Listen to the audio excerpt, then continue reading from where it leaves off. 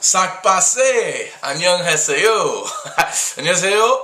네. Um, I would like to begin this video by um, rephrasing a quote for you from Neil deGrasse Tyson. It says, and I quote, The day we stop exploring is the day we commit ourselves to live in a stagnant world, devoid of curiosity, empty of dreams.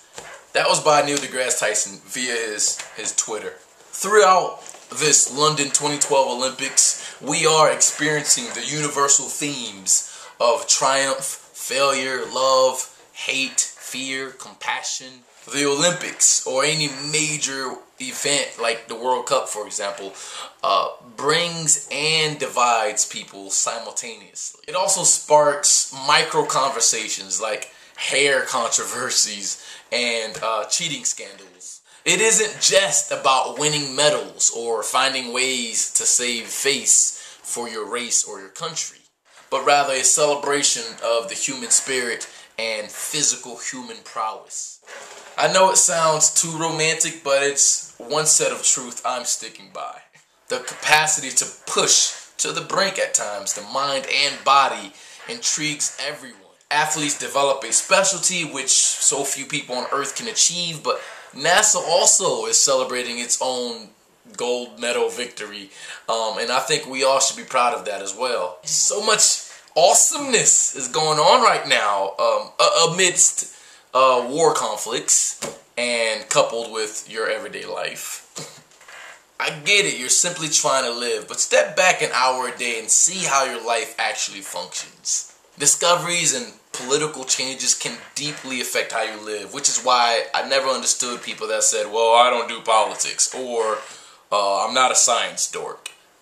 Uh, yeah, science and political changes affect your life, whether you realize it or not. so NASA recently sent an unmanned 2,000 pound robot the size of a car 300 million miles from Earth and then dropped the big ass robot on the red planet, on Mars.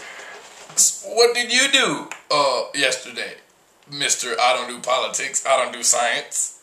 To my 80s babies out there, we are making Back to the Future look like Back to the Past. Curiosity, the name of the robot, has lasers that can vaporize rocks. Vaporize. 3D cameras, high def videos. It can drill and scoop soil. Well, that doesn't really sound as cool as vaporizing rocks, but still, I want a robot. Vaporize. I mean, WALL-E ain't got shh on curiosity. Nothing.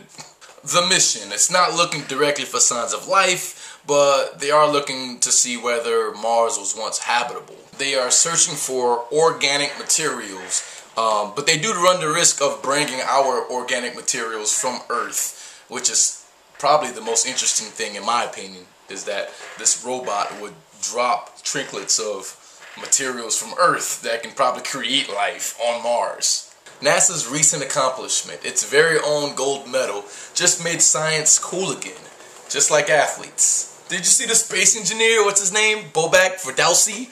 He, he was rocking a mohawk. How many space engineers or scientists are rocking mohawks? American exceptionalism.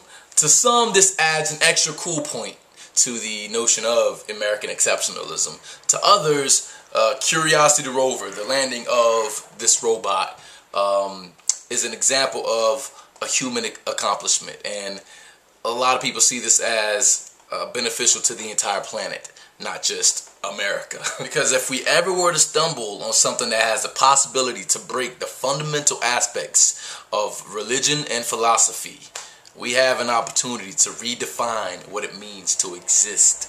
So I began this video with a quote from Neil deGrasse Tyson. I will end this video with a quote from Carl Sagan. Read this quote from brainpickings.org, which is a website I actually visit quite often, along with my website, The Vanguard Element. And, uh, quote, maybe we're on Mars because of the magnificent science that can be done there. The gates of the wonder world are opening in our time. Maybe we're on Mars because we have to be.